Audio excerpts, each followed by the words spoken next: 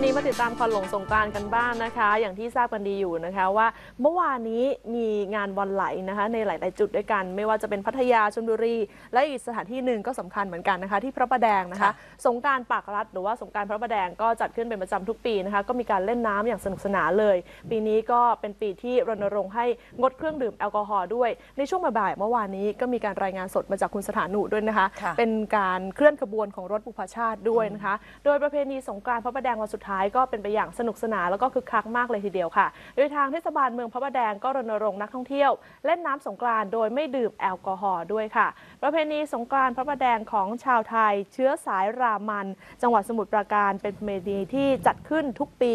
เพื่อรักษาไว้ซึ่งเอกลักษณ์ของวัฒนธรรมดั้งเดิมไว้ เมื่อวานนี้นะคะก็ถือว่าเป็นวันสุดท้าย บรรยากาศตลอดทั้งวันเป็นไปอย่างคึกคักทางเทศบาลเมืองพระประแดงก็จัดงานอย่างยิ่งใหญ่ มีการแสดงต่างๆ มีขบวนแห่รถบุพชาติบนถนนสีขันเขื่อน ซึ่งก็ไปสิ้นสุดที่พระอารามหลวงนะคะ วัดโปรดเกตเชษฐาราม แล้วก็มีพิธีปล่อยนกปล่อยปลาซึ่งความเชื่อของชาวรามันเชื่อว่า เป็นการสะดอกเคราะห์เสริมดวงชะตา เพื่อความเป็นสิริมงคลตลอดทั้งปีสำหรับบริเวณถนนสีเขื่อนขันนะคะ ถนนนครเขื่อนขัน ถนนราชวิริยาพรณ์และบริเวณถนนโดยรอบนอก มีนักท่องเที่ยวจำนวนมากที่เดินทางมาเล่นน้ำสงการด้วยรถกระบะ เปิดเพลงตามซุ้มต่างๆ เป็นระยะ ซึ่งก็เป็นการสร้างสีสันและก็ความสนุกสนานค่ะ ซึ่งขณะที่ทางด้านของเทศบาลได้รณรงค์ เล่นสนุกได้โดยไม่ดื่มเครื่องดื่มแอลกอฮอล์เพราะต้องการให้นักท่องเที่ยวงดดื่มเครื่องดื่ม แล้วก็เพื่อความปลอดภัยในการเล่นน้ำสงกรานต์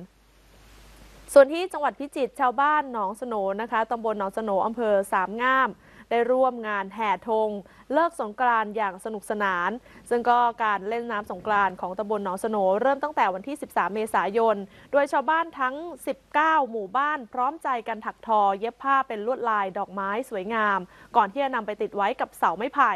จากนั้นจะนำธงแต่ละหมู่บ้านมาเย็บติดกันให้มีความยาวมากที่สุด แล้วก็แห่ไปยังวัดหนองสโนโดยเมื่อขบวนธงเดินทางมาถึงวัดก็จะประกอบพิธีทางศาสนาทอดพระป่า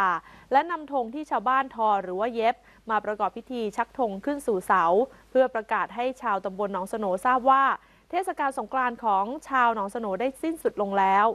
สำหรับงานบุญประเพณียกธงเลิกกิจกรรมสงกรานต์ของชาวตำบลหนองสโน ปฏิบัติเป็นประจำทุกปีติดต่อกันมานานกว่า 100 ปีแล้ว โดยผู้นำชุมชนแล้วก็ชาวตำบล ก็จะร่วมกันนำธงหรือวัสดุอื่นๆนะคะ ซึ่งชาวบ้านแต่ละหมู่บ้านร่วมแรงร่วมใจกันจัดทำขึ้น พร้อมกับประดับตกแต่งธงให้มีความสวยงาม และจะทำขบวนแห่เดินทางมายังวัดหนองสโน เพื่อประกอบพิธียกธงเลิกกิจกรรมงานประเพณีสงกรานต์ค่ะ